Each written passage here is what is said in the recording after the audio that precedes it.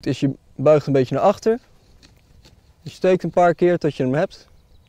En de asperge. Zo doe je dat dus, een asperge steken. Sander herhaalt de handeling vele malen per dag, want de tijd van het oogsten van het witte goud is weer begonnen.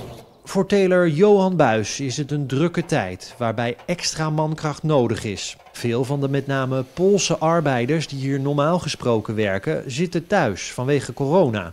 Toch heeft Buis genoeg mensen in dienst. Ja, gelukkig wel. We kunnen aan genoeg mensen komen. Er zijn helemaal mensen die zich spontaan aanmelden. En die toch graag eh, in de natuur of wat te doen willen hebben, die nu thuis zitten. Zoals Johan, die gestopt is met zijn studie.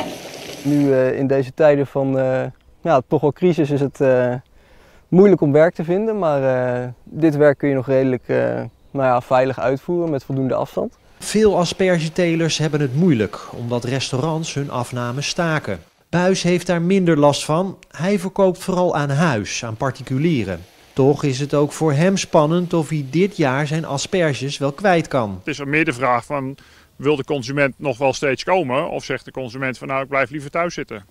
Eh, het kan twee kanten opvallen. Het kan juist zijn dat je het drukker krijgt, maar het kan juist zijn ook dat je het minder krijgt. Maar dat moeten we nu gaan ervaren. Ja, en hoe ze smaken? Ja, daarvoor moet u echt even langs hier in Beeldhoven. Maar wat voor geluid ze maken, dat kunt u nu al ervaren. Want zo